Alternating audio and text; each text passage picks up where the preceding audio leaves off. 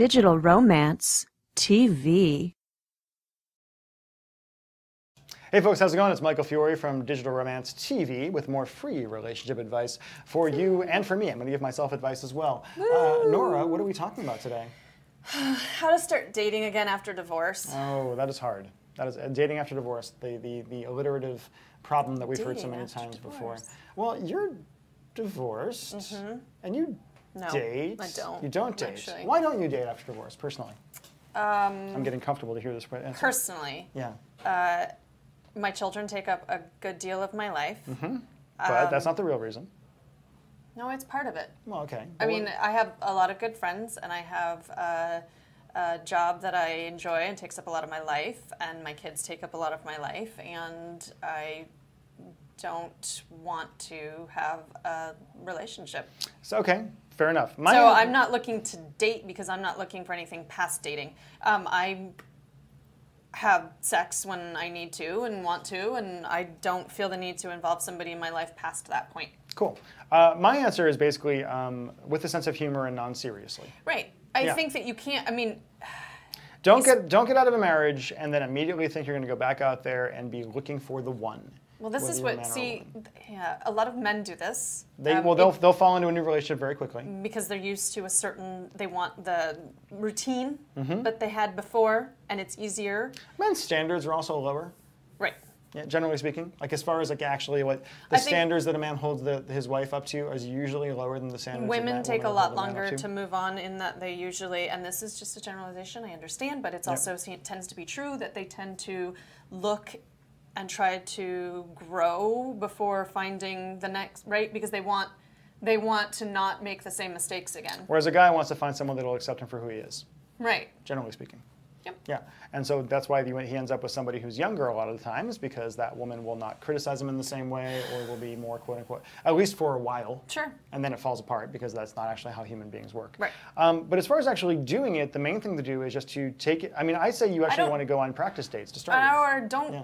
Date. Go, and then I use this advice Sure, all the time. Like, yeah. go find a, um, especially if you've been in a marriage where you spend a lot of time with another person and you have your own things that you want to explore. Go work on hobbies that you've enjoyed in a group setting. That like, involve people. If you enjoyed Yeah. photography, go join a photography club. Yep. Uh, do something that you enjoy doing in a group setting where there's men and women, and you can make new friends. You can. Um, Yep. possibly meet people of the opposite sex Or have a foundation for uh, Hey, we have gay marriage now, so it could be the That's same sex. Mm-hmm. true.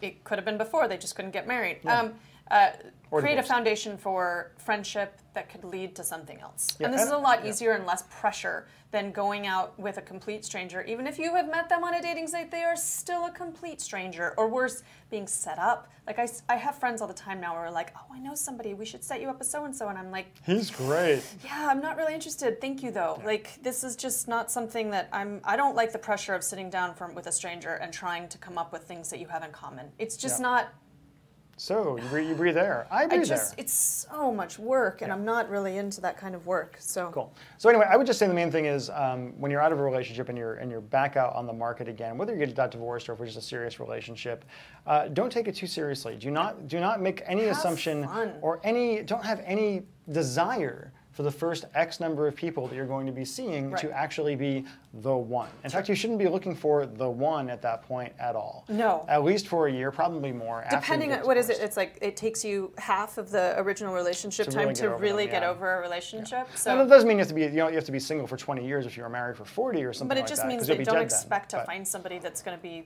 the one and Yeah. if there is the one whatever And also, I would just say your attitude needs to be, even with people that, that you do date, you just kind of say, I'm not looking for anything serious right now. Right. It doesn't mean you have to have sex with a lot of people or anything like that. you That don't have totally to up to you you. can if you want to But you might just be looking for fun and just like get back to the idea of dating as something that you were doing without a huge commitment. You know what is so fun is going out on dates that are like as if you're in junior high or high school. Yeah. You might make out a little, but it's that's it. and It's super just, hot to set no, the line right, there. Like yeah, there's just fun. You enjoy flirting and having fun and not having to like worry about whether it's going to be serious or not. Just and really, your main goal after uh, divorce for a lot of people, whether they know it or not, is just to be desired again. To learn what it's like to be desired again, to learn what it's like to be appreciated again as for the person you are, and to learn to be lusted after again, because you probably haven't been for quite some time at that point. And you need to play with that and not make the mistake. I had a friend I was talking to the other day who was married, and then pretty much the first girl he dated after he got divorced, he got married to. Right. And now he's like, I think I would take more time next time if there was a next time. I'm like, yeah, that'd probably be a good idea. So the real answer is um, do not, I'll break it down this way. Um, don't take it too seriously, at least at first. Assume that every single guy or girl you go out with is not the one and is not going to lead anywhere for at least the first year or whatever else. If something happens and it turns into a great relationship, that's But totally freaking when you're awesome. first dating, don't take one person at a time either. Just You have to be dating multiple people. You have to date There multiple people. Good you have to be open about that, Yep. and that makes it very casual to everybody. Yep. Like, I'm not. We're not just dating. I have other dates with other people, Yes. and this is something that I'm. Now, you don't go into the details on those things, but you do make it known that you are also dating other people. You don't take your online dating profile down the moment you Nope. meet somebody or something like that. And also, constantly remind yourself that the person that you are dating is not your ex. right. Because that's so hard. And I wrote something called the Relationship Bill of Rights. If you go to digitalromanceinc.com, you can find it. It's a great article that I'm really happy with. I think we even have a designed version of it that Dan did for us a while ago.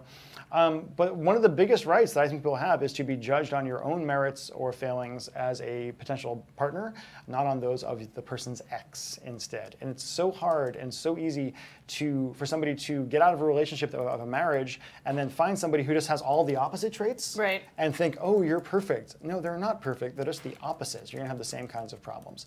But you need to try to judge every person you date as their own person from then on, no matter how painful it is. I'm also a big fan of people who got divorced going to therapy for a while to help work through the pain of that, because getting divorced, from what I've heard, is freaking horrible. So.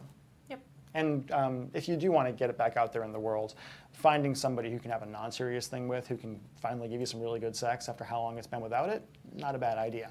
And with that little um, piece of final advice, uh, we're going to finish up. If you have a, speci- a specific question, go ahead and leave it down below. Uh, or you can go to digitalromanceinc.com. We have a bunch of articles. We have the Digital Romance podcast. We have all sorts Digital. of things. Yeah, we do. So Yeah. many things. Yeah. Go So there. that's it. Bye. If you've got a cell phone in your pocket or purse right now, then you've got everything you need to create incredible romance and passion with the man or woman in your life at the push of a button. Go to digitalromance.tv forward slash TRB to see Michael Fiore make an entire audience of women on The Rachael Ray Show swoon and learn how to use tiny little text messages to have the relationship of your dreams.